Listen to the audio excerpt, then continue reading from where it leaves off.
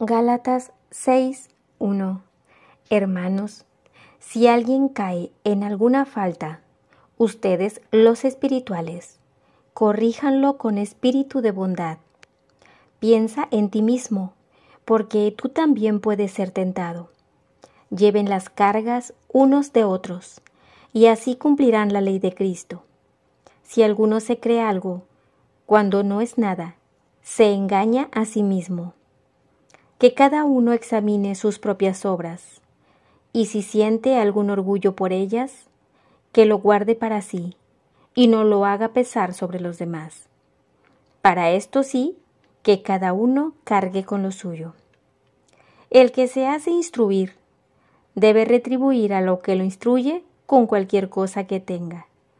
No se engañen, nadie se burla de Dios. Al final cada uno cosechará lo que ha sembrado. El que siembra en su carne, de la carne cosechará corrupción. El que siembra en el Espíritu, cosechará de Espíritu la vida eterna. Así pues, hagamos el bien sin desanimarnos, que a su debido tiempo cosecharemos si somos constantes. Por consiguiente, mientras tengamos oportunidad, hagamos el bien a todos y especialmente a los de casa, que son nuestros hermanos en la fe. Estoy crucificado con Cristo. Miren qué letras tan grandes. Estoy trazando por mi propia mano. Los que tratan de imponerles la circuncisión son sobre todo gente preocupada por ser más considerados en el mundo. No quieren que la cruz de Cristo les acarre problemas por estar circuncidados, no es que observen la ley, tan solo les interesa la marca en el cuerpo y se sentirían orgullosos de que ustedes la tuvieran. En cuanto a mí, no quiero sentirme orgulloso más que de la cruz de Cristo Jesús, nuestro Señor. Por Él el mundo ha sido crucificado para mí y yo para el mundo. No hagamos ya distinción entre pueblo de la circuncisión y mundo pagano, porque una nueva creación ha empezado.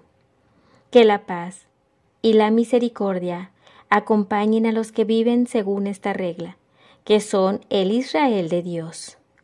Por lo demás, que nadie venga a molestarme, pues me basta con llevar en mi cuerpo las señales de Jesús. Hermanos, que la gracia de Cristo Jesús nuestro Señor esté con su espíritu. Amén. En el momento de despedirse, Pablo vuelve a los problemas de la comunidad. No se trata solo de un problema de prácticas religiosas, sino también de algunas personas que, al igual que los fariseos, quieren ser considerados y aparecer como una élite. Los que tratan de imponerles la circuncisión son miembros de la comunidad deseosos de diferenciarse de los cristianos ordinarios, que forman un grupo aparentemente más serio y más religioso, porque han adoptado la circuncisión. Pero se sabe, aunque no lo digan, que ese rito les abrirá las puertas de los hogares judíos. Ya en aquel tiempo, las relaciones y la solidaridad entre las comunidades judías establecidas en todas las ciudades importantes del Imperio romano, les conferían una fuerza tremenda. Tenerlos a su favor era una gran ventaja. Pablo, en cambio, iba a ser perseguido de ciudad en ciudad hasta que sus adversarios lo hicieran condenar por la justicia imperial. Simplificando un poco, los que se oponen a Pablo tienen el medio de ser una élite religiosa y al mismo tiempo una élite social. Qué tentación tan grande para un discípulo de Jesús. El mundo ha sido crucificado para mí.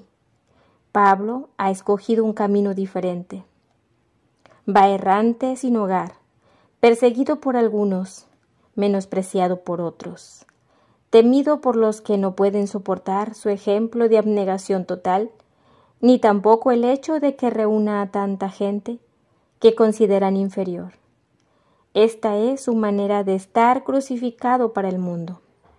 las señales de Jesús y no de la circuncisión. Pablo hace alusión sin duda a los muchos golpes y heridas que había recibido.